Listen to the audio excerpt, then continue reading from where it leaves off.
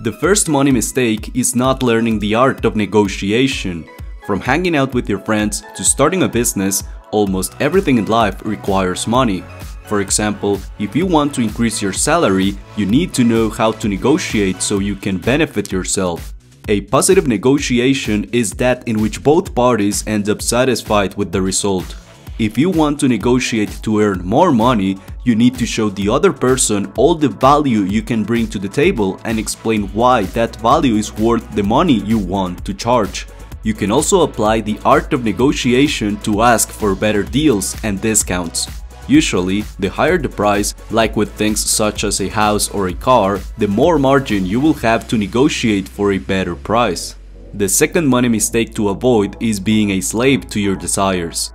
Back when I was 20, I had a friend who wore designer clothes, had the latest iPhone and his car was worth the same as a house. Ironically, he was always broke and was deeply in debt. He was always stressed out because he didn't know where the money to pay his debt was going to come from.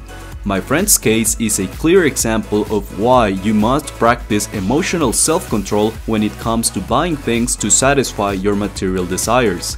You need to be frugal in your 20s and pay attention to how compulsive your spending is. Whether it's food, gadgets, or streaming services, impulsive pleasures usually boil down to the need of buying something to feel good about yourself because you carry an emotional void within. This is usually the result of a lack of self-love. That's why I suggest you watch this video I made about how to love yourself. It will teach you everything you need to fill every void you might have within yourself. I will leave the link in the description of this video. The third money mistake you need to avoid in your 20s is buying a house. See, most people think that buying a house is a smart investment, but if you think about it, this myth comes from the companies that are selling the houses. The problem with buying a house when you're in your 20s is that you are putting a lot of money into something that will not return a single cent back. The problem with this is that you will not be able to use that money to start a business, a project, or to move abroad and do something different with your life. Your 20s is a time to experiment and see what might interest you. Buying a house is like wrapping an anchor to both of your ankles. Instead, consider renting a cheap apartment that's already equipped.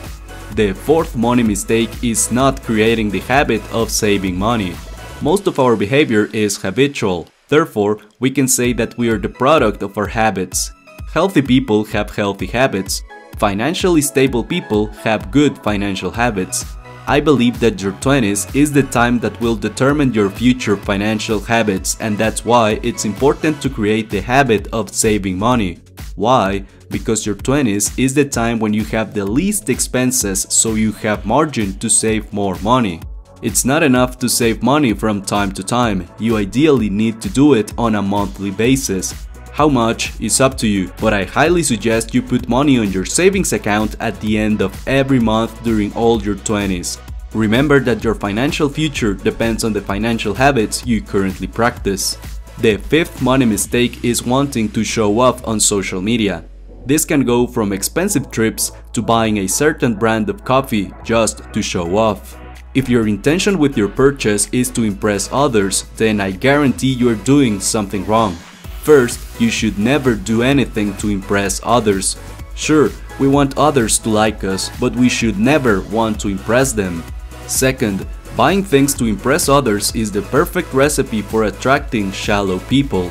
This is very easy to do in the age of social media, so make sure to never spend money on expensive stuff just to show off. Instead, invest your money on your education, buy books, courses, and join seminars. Spending money on this will help you attract better people into your life and will also help you earn more money later on. The sixth mistake is not knowing how to use a credit card properly. I urge you to learn everything you can about credit cards the problem most people have is that they take credit cards without knowing how they work and therefore they get into debt and thus they say credit cards are evil. Credit cards are simply a financial tool that you can use to acquire something right now and pay for it a couple of weeks down the line. Personally, I love my credit card, I use it all the time. I enjoy buying things in the present and having up to 57 days to pay them later on. I also enjoy the benefits of it. I accumulate reward points, there are cool promotions on some restaurants, and I get life insurance for free. It also helps me build a positive credit score. This is super important because it's the way banks know how likely you are to pay your debts to them. By the way, I suggest you watch this video I did about the 6 life lessons I wish I knew at 20. I will leave the link in the description of this video. The seventh money mistake to avoid in your 20s is not working hard for money. See, your 20s is the time when you will have the most amount of energy. It's up to you to decide how you will use this energy, but be assured that you will never feel more energized than during this period. That's why I highly suggest you focus on pursuing a career or an entrepreneurial endeavor. Also, you don't have too many commitments in your 20s and that's why you can work long hours without disrupting other aspects of your life. Your 20s is the time where you should focus on acquiring experience, developing a strong work ethic, and earning as much money as you can so later on you can use it to pursue something that matters to you. So, if you're in your 20s, pick a professional goal and pour time and effort towards it. The eighth money mistake is not making a budget. A budget is basically a financial map. Without it, you will be lost when it comes to money. Without a budget, you will not know how much you're spending. This will leave the door open for you to get into debt. You won't know either how much money you have left at the end of every month and thus how much you can save.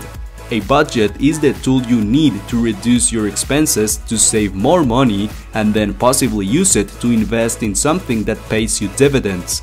I suggest you create a simple spreadsheet with income and expenses and log in all of them. You should be aware of everything that comes and goes in and out of your bank account. The ninth money mistake is not learning about personal finances. Personal finances can be compared to healthy nutrition. Someone who is not properly educated in nutrition will be overweight, unhealthy, and always tired. Someone who is not properly educated in personal finances will be broke, stressed, and heavily in debt. The basics of personal finances are short-term and long-term financial goals, learning how to manage a budget, how to create an emergency fund, and thinking about ways to cut off your expenses and increasing your income. To learn more about this, just search in YouTube, which is something I really recommend you do. The 10th money mistake to avoid in your 20s is acquiring debts and not honoring them. Debts are not necessarily bad, but I think everyone would rather live without them. Good debts are the ones that help you acquire things that either you need or that will create more money. For example, paying for a surgery or paying for your med school tuition. Bad debts are the ones that help you acquire things that you don't need or that will only create more expenses down the line. For example, buying a luxury car that requires expensive repairs. Once you acquire a debt, your number one priority must be paying it off. Not only is it the honorable thing to do, but it will also save you a lot of stress. Let me know what other things you would like to know in your 20s. I'll be more than glad to make a video about it.